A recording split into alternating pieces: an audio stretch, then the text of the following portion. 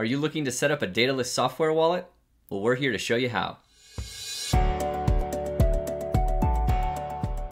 Welcome back to Woodland Pools, your place for the latest Cardano news, tutorials, and the information you need to grow your investment with confidence. Today, let's take a look at setting up a Daedalus software wallet. Whether you're waiting on your hardware wallet to come in or you have no intention of getting a hardware wallet, a Daedalus software wallet can be a great option to manage your coins. Let's take a look together. All right, so the first thing we're going to want to do is come to cardano.org. From there, we can go to individuals, we can click on Daedalus wallet, and that'll take us to the Daedalus website. From here, we're going to go to download. You're going to select your operating system. I'm on a Mac, so I'm going to come here to download Daedalus on Mac. But I will say, as an optional additional security measure, if you want to be extra sure that the installer that you're downloading is from Daedalus, check out our previous video on PGP signature verification, which we'll link down below. If you want to see how to do that, it'll walk you through the whole process. But for the sake of this exercise, we'll just do the straight download and we'll skip the verification. So I'm going to click on Download Daedalus. I'm going to download the installer. When it's done downloading, go ahead and open the installer and go through the full installation process. Once the install is complete, go ahead and open up Daedalus. Okay, we see it here connecting to the network. We're to need all four of these to turn green. So the Cardano node is running, but it's not responding yet.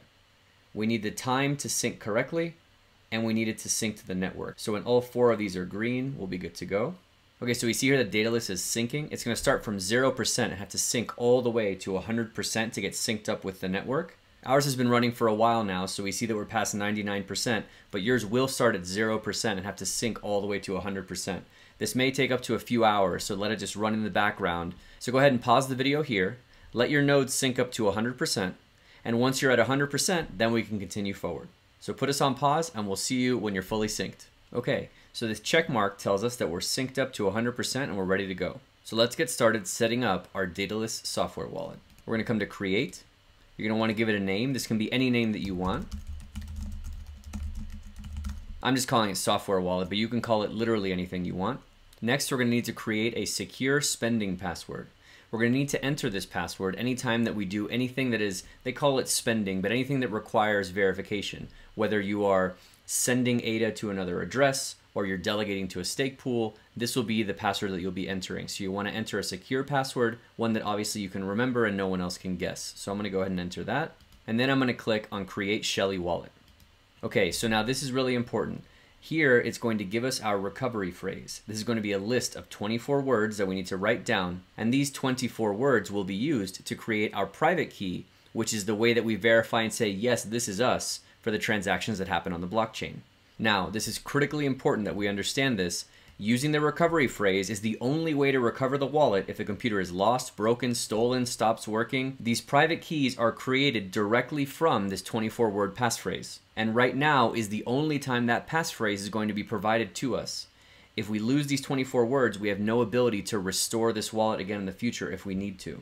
The next thing is we need to confirm that nobody can see our screen because anybody who knows the recovery phrase will be able to spend the ADA that's in our new wallet. Since the private keys are being created directly from these 24 words, the good thing about it is that if something happens to our computer or our Daedalus application becomes corrupted and we need to reinstall it, we can just use these 24 words. We can restore a new Daedalus wallet from them and we're good to go and all of the addresses and private keys and everything are identically created again for us. So it's really easy. But on the flip side, if anybody else has access to these 24 words, they can also just as easily restore a Daedalus software wallet and pretend to be you and spend all of your ADA. So it is critically important that you write down these 24 words, that you keep them in a safe place, and you make sure that no one else has access to them, or they can literally steal all of your ADA that's in your wallet. So with that confirmed, we'll say confirm and continue. So here it's going to give us the 24 words that will be used to create our private keys for our Daedalus wallet. Before any of you decide to get clever, yes, I said don't let anyone see it, and I am here broadcasting it on YouTube this test wallet we're going to set up and then we're going to delete right after. But you want to make sure nobody can see your words. So what you're going to want to do is take a moment, get your three pieces of paper, and write down these 24 words in the exact order that they're presented three times. All 24 words in order on each of your three pieces of paper. So go ahead and pause us here, write down your 24 words three times, and then unpause us when you're ready and we're ready to continue. Okay, so now that we've written down our 24 words, we're going to say, yes, I've written down my wallet recovery phrase. And the next thing it's going to want us to do is to repeat back those 24 words in the exact order. The purpose of this is because the 24 words are the only way to restore our wallet in case anything goes wrong. We want to make sure that we've gotten the words right and then we wrote them down in the right order. So you're going to want to repeat all 24 of them back and then we're going to hit confirm. So we're going to go ahead and enter our 24 words. You'll see you get some drop downs and you can start typing. So if I start typing the first word like morning, we can see here that it auto completes for us and we can click on it. So do this for all 24 of your words and then we'll meet back here. Okay, so we're going to enter our 24th word supply. And when I do that, it's going to say, okay, that looks good. And so now it's going to ask me to confirm a few things.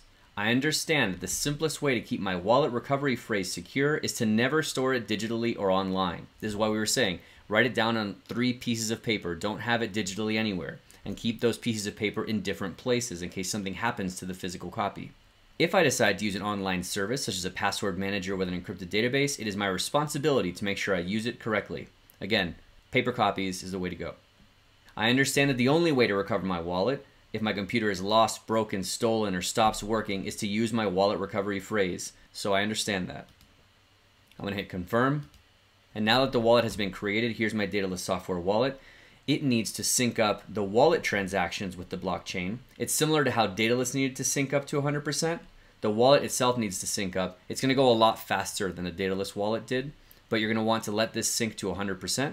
So go ahead and once again pause us here, let your wallet sync, and then we'll continue from there. Okay, so now that our wallet is all synced up, we see here we have our Daedalus software wallet. We have zero ADA in it. Let's take a quick look around. So one thing we can do is, if we want, we can add another wallet.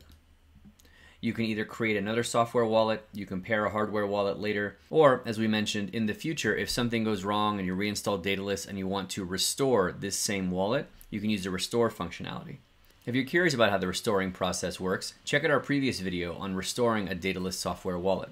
So let's continue looking around. We can see here that if we go back to our wallet, we can um, send some ADA, we can receive ADA. Here are our addresses that we can receive our ADA from the exchange to this wallet. If you want a little more information on how to send your ADA off of the exchange onto your wallet, check out our other video on how to withdraw your ADA from the exchange. Then we can also come here to the delegation center we can find stake pools we want to delegate to. We have a bunch of them that auto-populate here. We can also search for a stake pool. So if I search for our stake pool, Aspen, we see we can select it here.